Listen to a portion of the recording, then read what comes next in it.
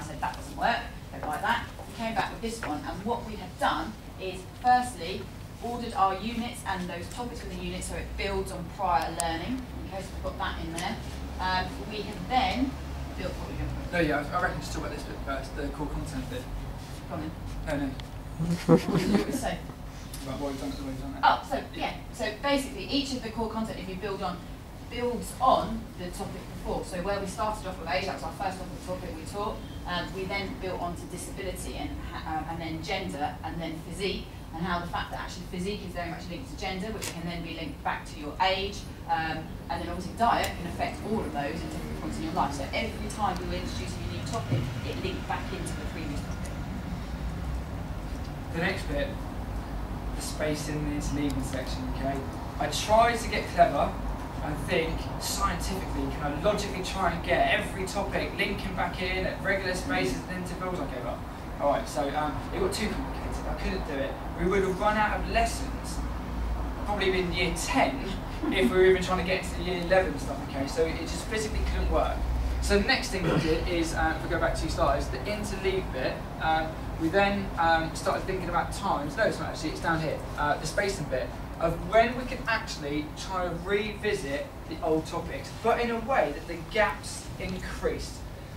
Luckily, for our high level maths that we know, um, obviously if you teach unit 1, you can recover unit 1.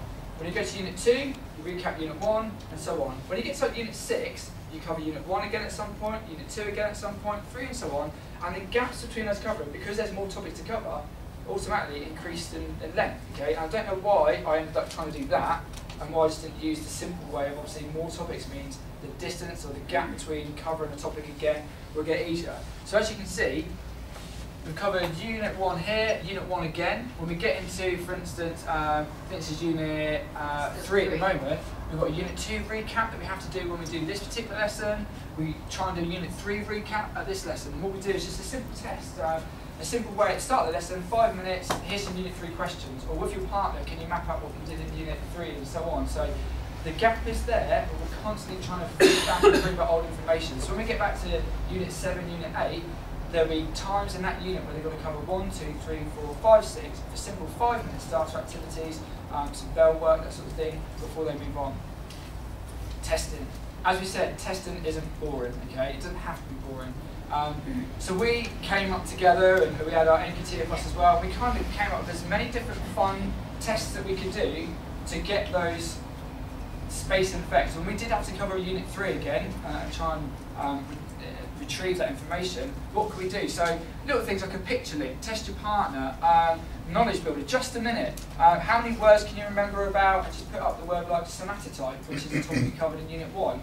Okay, so little things like that, just we do for five minutes in the lesson at those designated times, which we've planned out because they are something we'd like to control, the gaps in the spacing, so that students can actually have opportunities to constantly keep developing those retrieval, um, uh, the retrieval strength, the content and information that they were doing. Um, and kids don't realise what's going on. I had a year, uh, 10 parents in a couple of weeks, and Lewis in my class said, I don't know why, sir, but it just seems to stick. Okay, I just seem to remember what we're doing in our lessons um, because lots of little things like this are just working really, really well.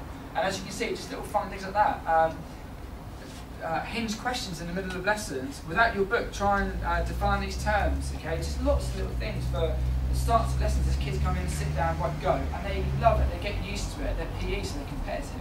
Um, and they just try and have that fun and that linking and they try and discuss and so on. Um, that was Fran's Unit 2 recap that she did in her Unit 3, so the images are up there and they had to try and... They had to work it out, so I had a guess at what they were and it was all to do with role models and media and technology of the unit. And then each of them had to link into an, a, a, a, an article that they then read to recap the information that we taught previously. So again, it's just trying to make those low stakes but even though increasing the gap spacing times that we're going to recover stuff. Um, next thing, the interleaving section, as I said, um, if we look back to here, um, there are times where we actually link in old topics. So obviously there's nothing in these boxes really because we've just taught a new topic. Okay, but when we get down to here, link back to physique and uh, talk about how diet can affect body size, uh, body size and shape.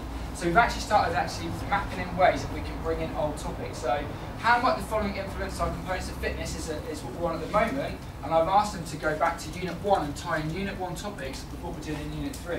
So we're getting to try and really think about bringing in old concepts that we've taught and trying to keep re-triggering it. So we're now interleaving in a different way, and also opportunities in our lesson, uh, like Fran's on here, about thinking uh, about role models. Yeah, to do with healthy lifestyles and thinking about how role models can in sport encourage that as well. So into a discussion about that. Planning out the actual opportunities, sponsorship, time to media, age and disability and gender. So actually sitting down and planning out times when topics really closely work together and bringing those old topics back into our new topics work fantastic well for us.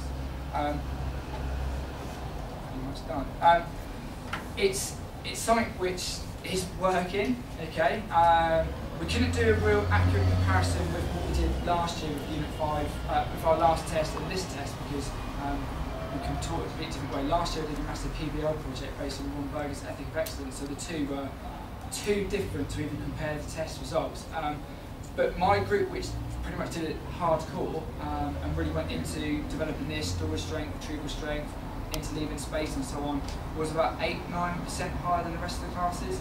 Um, and it's not because I have a more able class, because we were pretty much balanced and equal. We were just gut instincts and trying to pull apart on our first real evidence that it was the way we were delivering, the way we were trying to put in these cognitive ideas and, and, so on into a simple way, which, which will the outcomes. And like I said at parenting, when Lewis turned around and said, I don't know why so, it just seems to stick, shows that we are subtly doing it, but at the same time it's having the benefit and the impact on developing that storage strength and retrieval strength for the students in our class. Any questions? Because I'm looking at the watch, we've got about a minute. you can take questions. Hi, um, fantastic. I work in a girls' school and I love the idea of the low stakes testing because we've got a big project at the moment trying to get girls to take risks, which we really struggle with.